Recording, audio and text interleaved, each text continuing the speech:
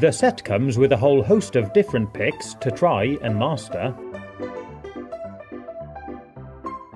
And also a number of these tension tools. These all look very similar, but actually have very slight differences in size or shape. To pick the lock, the idea is to insert one of these tension tools into the bottom of the lock here, and apply a small amount of tension or torsion to the cylinder. You need to do this with one hand while holding the lock as well. Then take a lockpick, and we need to try and lift each pin so that the upper pin is above the shear line. Maintaining a small amount of torsion on the cylinder will stop the pins from falling back down.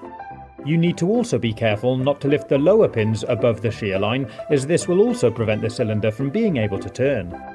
When they're all set at the correct height, you should be able to feel the resistance on the torsion tool diminish, and now you're able to turn the cylinder and open the shackle. Pretty cool, huh? I'll show you again. It does take quite a bit of practice, but you really get a feel for what's going on, and it is possible to pick the lock quite quickly.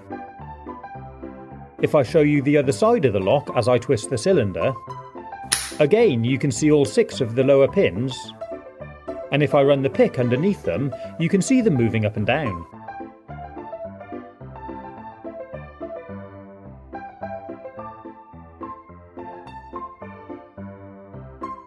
When I line the cylinder back up, the top pins drop back and lock in place. It's a really good, fun puzzle to try and crack.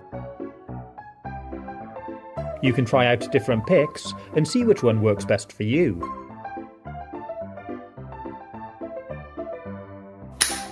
But of course, using a transparent lock is cheating a bit. So get yourself a real padlock and see how you get on.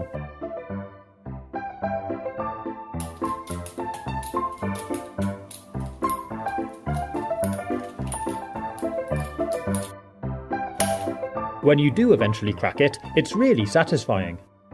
You can try lifting individual pins at a time, or try using a rake like this to rake the lock.